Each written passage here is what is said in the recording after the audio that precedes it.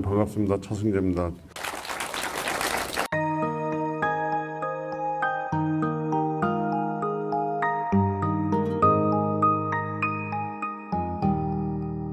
신신에 가서 미스터 만만한 영화를 했어요. 사실은 신신해가 저의 영화 인생에서 굉장히 중요한 회사인데 음.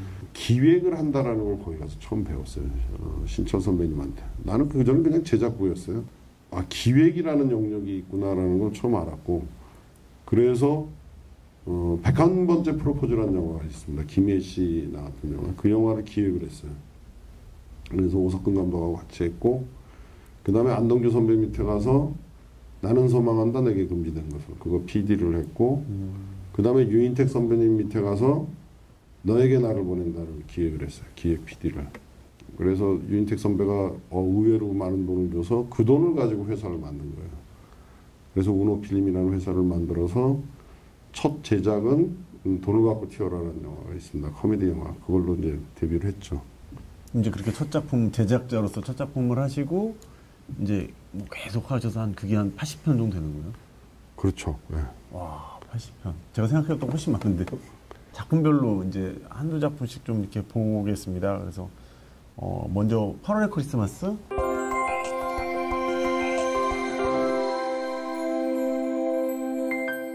(8월의) 크리스마스는 변칙 영화예요. 이, 이, 이 영화 되게 좋은 영화임에도 불구하고 따라서 하면 안 되는 영화예요. 그때 판단은 근거는 뭐냐면 첫 번째 기존에 나왔던 멜로 영화하고는 다른 멜로 영화예요. 그러니까 반멜로적인 영화예요. 이 영화는 멜로 영화는 감정을 최대한 가지고 노는 거예요. 과장시키고 연장시키고 반복시키고 그런데 8월은 그런 감정의 왜곡을 안 한 영화예요. 8월의 크리스마스 어떤 영화예요? 그럼 담담하고 좋은 영화예요? 뭐 이런 얘기를 많이 담담하다는 거는 사실은 멜로 영화의 특성이 아니에요. 좀 다른 스타일로 러브스토리나 멜로 영화를 하면 괜찮겠다라는 생각을 했고 사실은 그거를 먼저 보여준 전조가 있어요. 그 이 8월이 먼저가 아니라 접속이라는 영화가 있습니다. 여러분들 기억하시는지 모르겠지만 접속이라는 영화를 보면 주인공이 만나지 않는 러브스토리거든 어떻게 보면 멜로 영화거든. 그런 걸 보면서 아, 관객들이 뭔가 기존의 전통적인 멜로 장르보다는 어, 좀 더 다른 느낌의 색다른 걸 원하고 있다라는 거에 차관점을 둔 거예요.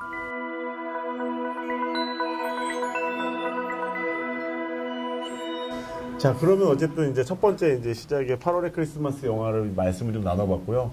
대표님께서 두 작품을 같이 묶어서 설명을 해주실 건데요. 이게 바로 그 지구를 지켜라와 살인의 추억.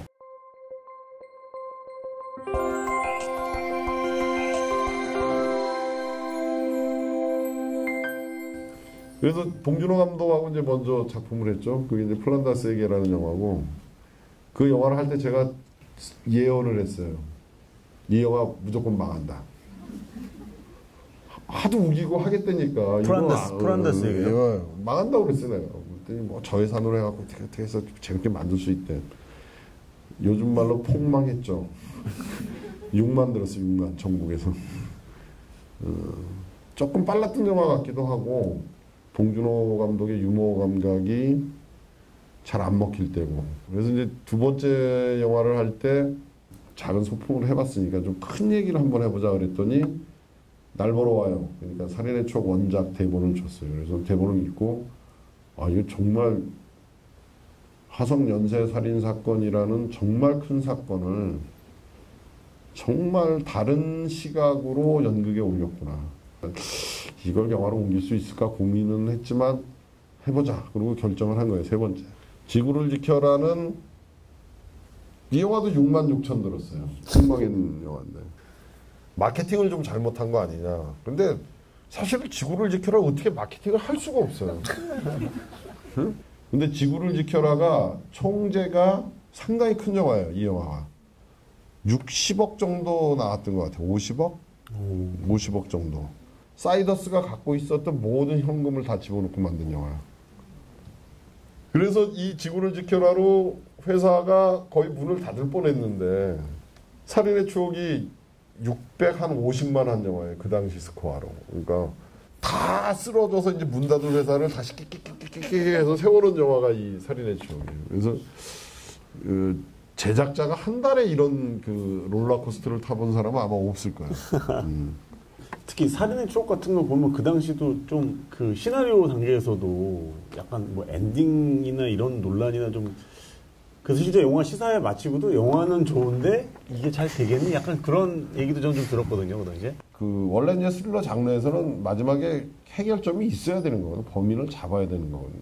그러니까 범인을 잡으면서 여하튼 카타르시스가 그 antagonist를 응징하는 카타르시스가 있어야지만 그 되는 장르의 규칙이 있는데 살인의 추억은 미제 사건을 다룬 거잖아요. 사실은 살인의 추억이 단순한 스릴러가 아니라 굉장히 사회적 드라마인 거거든요. 봉준호 감독이 의도한 건 군부가 국가를 다스리면서 정말 갖춰야 될 시스템이 안 갖춰져 있고 어, 국민들을 우민화한다. 그러니까 바보로 만드는 정책을 썼다라는 거에 대한 전곡을 찌르는 부분이 있는 영화거든요. 그렇게 보면 이거는 픽션으로 가면 안 되고 현재 있는 팩트를 받아서 요즘 그때는 그런 말이 없었는데 팩션을 만들어야 되는 거예요. 근데 그 마지막 장면이 있었기 때문에 시나리오에 그 꼬맹이가 그러잖아요. 오래간만에 돌아온 송강호한테 어제도 딴 아저씨가 물어보고 갔는데 여기를 들여다보고 그게 그 어떤 영화의 last보다 저는 강력한 last라고 생각하거든요. 그게 있었기 때문에 안심하고 저는 이거를 가볼 수 있었던 것 같아요.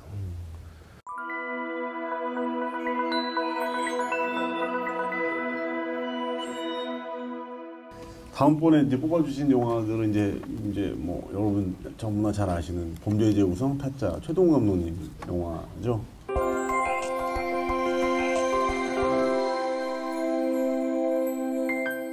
지금은 이제 대한민국 흥행 감독의 대표 주자 같은 감독이 된 최동훈 감독도 맨 처음에는 시나리오 작가로 왔어요.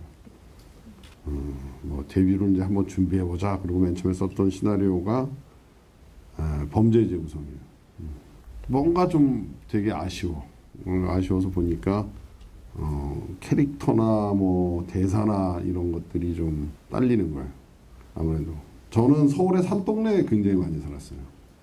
어린 시절에. 어, 어린 시절 친구들이 쭉 있었는데 그 친구들은 저하고 상당히 삶을 다른 길을 간 친구들이 많아요. 이 친구들이 이제 동네 그 논팽이들로서 이제 뭐, 뭐 조그만 카드 하우스 같은 걸 전문용어로 삥발이라고 그러는데 예, 그런 걸 하는 데를 최동 감독 올려보냈어요. 음, 그래서 그 인물들을 한 두 달쯤 취재를 했죠. 여기저기 쫓아다니고 술자리도 쫓아다니고 뭐 그러면서 사실은 굉장히 캐릭터들이 좋아졌어요.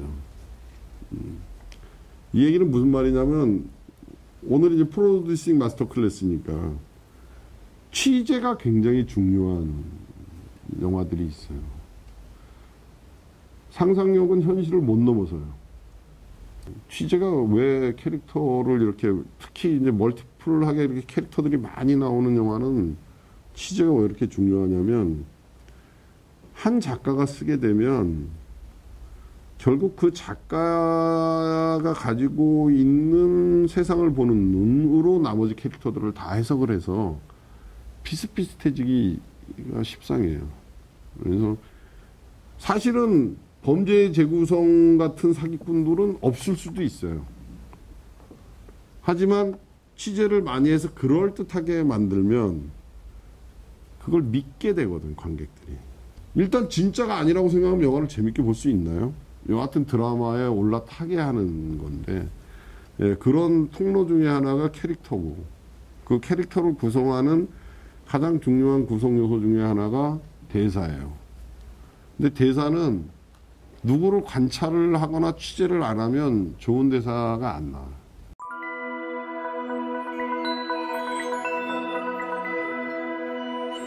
그러면 다음 영화 또 바로 넘어가세요. 이번에는 비트. 네.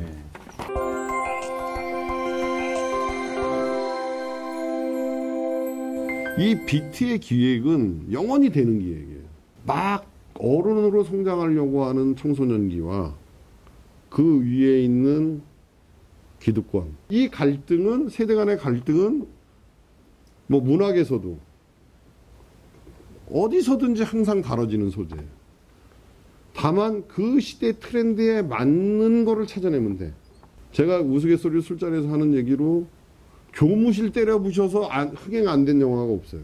말- 제가 이걸로 비슷한 기획으로 한 거는 뭐 태연 없다 말죽거리 잔혹사.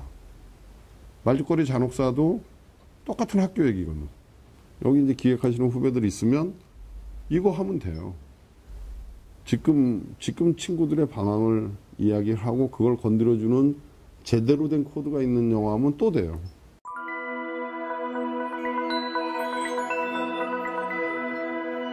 투자자 중심으로 바뀌는 영화 흐름에서 투자 프로듀서가 가야 될 방향 어, 내가 영화를 만들어서 내놔서 그- 그것 때문에 뭔가가 조금이라도 움직인다면 그거에서 내 존재론적 의미가 내가 존재하는 의미가 거기에 있는 거 아닌가 뭐 이런 생각을 많이 했어요. 근데 이제 이게 투자사 중심으로 바뀌면 이런 이런 숨은 커뮤니케이션이 없어지죠. 단편적으로 보면 단기간적으로 보면 투자사 중심의 그런 전략이 맞을 수도 있어요. 하지만 한국의 영화는 정말 대중문화에 굉장히 뿌리 깊게 이제 자리를 잡고 있는 거거든요.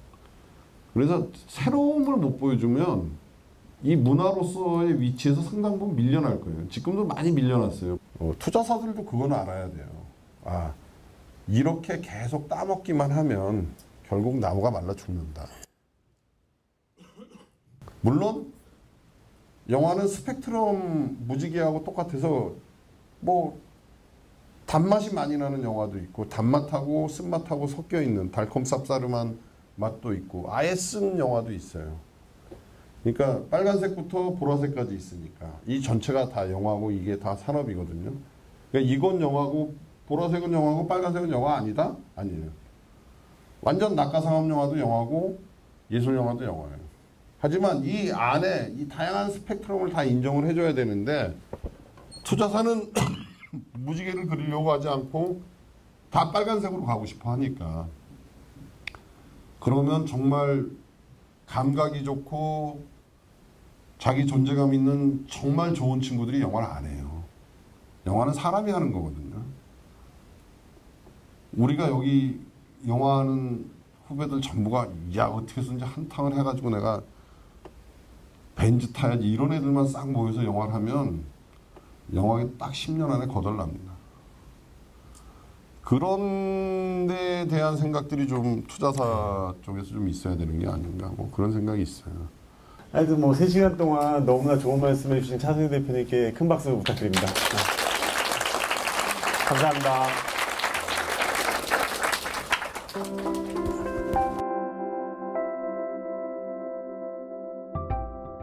어떻게 보면 역사의 발전이라는 건 지독하게 쓰라린 탄압과 경험과 실패와 이런 거에 대한 반동으로 새로운 게 나오는 거거든요.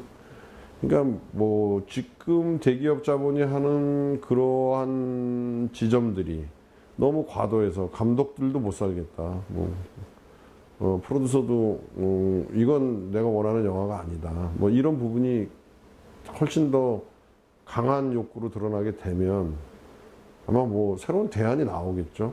사회적으로 의미가 있는 이야기들을 던지고 그걸 통해서 사회를 변화시키고 이런 것들이 저는 영화의 가장 중요한 기능이라고 생각하거든요. 그런 부분으로서의 영화의 기능을 포기하는 건 너무나도 안타깝고 어리석은 일이 아닌가 하는 생각이 있습니다. 아, 저도 이제 영화과 선생으로 있지만 다들 영화가 워낙 매스컴에서 뭐 열악하다, 불확실하다 미래가. 근데 과감히 한번 몸을 던져보면 아마 꿀을 빠는 시절이 있을 겁니다. 그만큼 노력을 해야 되겠지만 어, 과감하게 한번 도전해 볼 만한 인생을 보내고 그런 매력적인 대상이 아닌가 그렇게 생각을 해요.